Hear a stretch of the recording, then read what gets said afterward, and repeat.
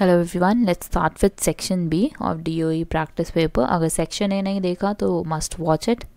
it has been uploaded on my channel so start करते हैं fourth question से. It says which is having more de Broglie wavelength a bullet of mass 0.040 kg traveling at a speed of 1 km per second or a ball of mass 0.060 kg moving at a speed of 1 meter per second. So, first case में आपके पास mass भी है. That is 0.040 kg. And speed भी है v basically one kilometre per second तो यहाँ पे आप यूनिट्स को चेंज करना पड़ेगा it must be S I units so one kilometre को मीटर में कैसे लिखते हैं? Ten to the power three it will be metre per second then उसके बाद you know Planck constant is six point six four into ten raise to power minus thirty four joule second तो yes now you have to find the wavelength wavelength का formula क्या होता है? Lambda is equal to h over m v Planck's constant की value substitute करते हैं सबसे पहले. Mass is zero point zero four zero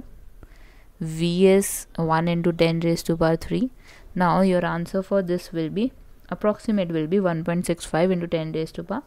minus thirty five metre अब इसी तरह से you can find for ball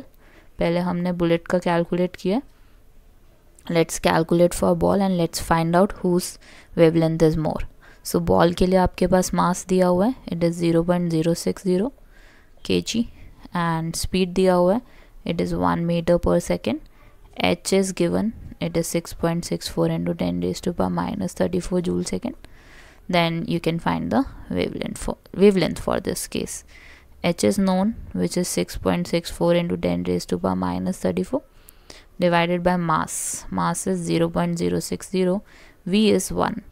now you can divide it and you will get approximate answer as 1.1 into 10 raised to power minus 32 meter in standard form. So you can see that the ball